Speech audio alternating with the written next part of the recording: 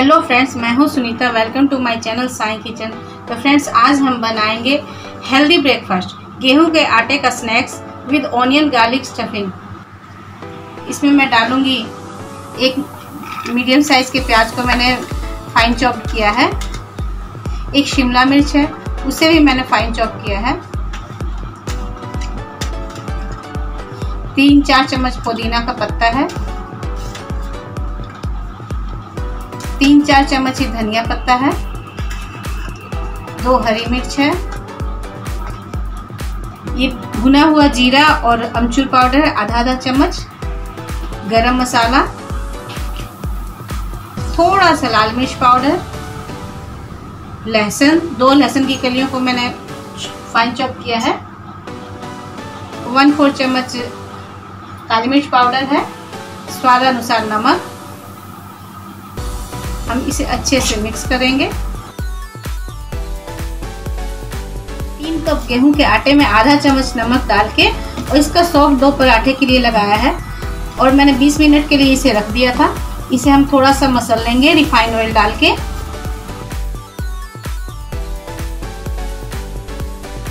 और हम एक बॉल के आकार का लोई लेंगे।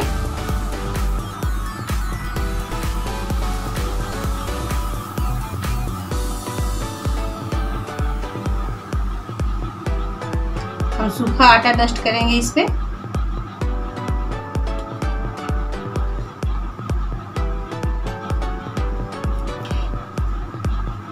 हम इसे एकदम पतला बेलेंगे।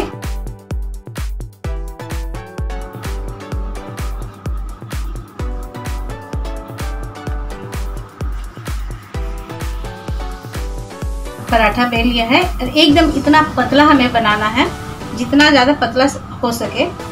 इसे बेलना है। इसके ऊपर हम रिफाइन ऑयल ग्रीस करेंगे। आप इसे घी रिफाइन ऑयल या बटर किसी भी चीज़ में बना सकते हैं।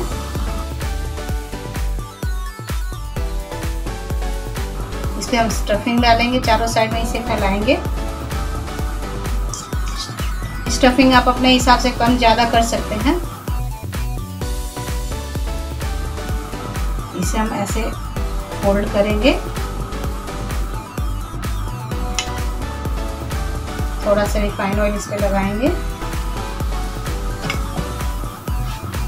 फिर हम ऐसे फोल्ड कर देंगे। इसे थोड़ा सा प्रेस करेंगे हम।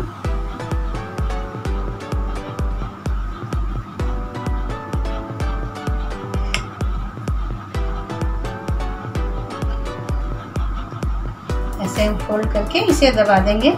मैंने एक फ्राई पैन में रिफाइंड ऑयल डाला है। इसमें हम डालेंगे पराठे को।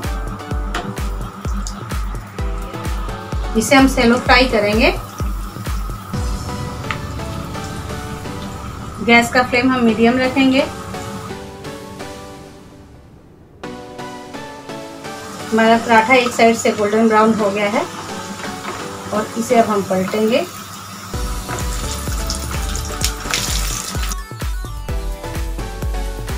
इसे दबा दबा के फ्राई करेंगे। हमारा पराठा गोल्डन ब्राउन हो गया है और इसे अब मैं निकाल लूँगी। इसी प्रकार मैं बाकी सारे पराठों को भी बना लूँगी। फ्रेंड्स, हमारा तो गेहूँ का आटे का स्टफ़ पराठा बन के रेडी है और बहुत ही ज़्यादा स्वादिष्ट बना है। फ्रेंड्स, आप भी इसे ज़रूर ट्राई करें और आपका कैसा बना मुझे कमेंट करके बताएँ, फ्रेंड्स। और मेरा वीडियो पसंद आए तो मेरे चैनल को लाइक, शेयर एंड सब्सक्राइब करिए। और हाँ फ्रेंड्स मेरे नए वीडियो के नोटिफिकेशन के लिए बेल आइकन को ज़रूर दबाएँ। Thank you friends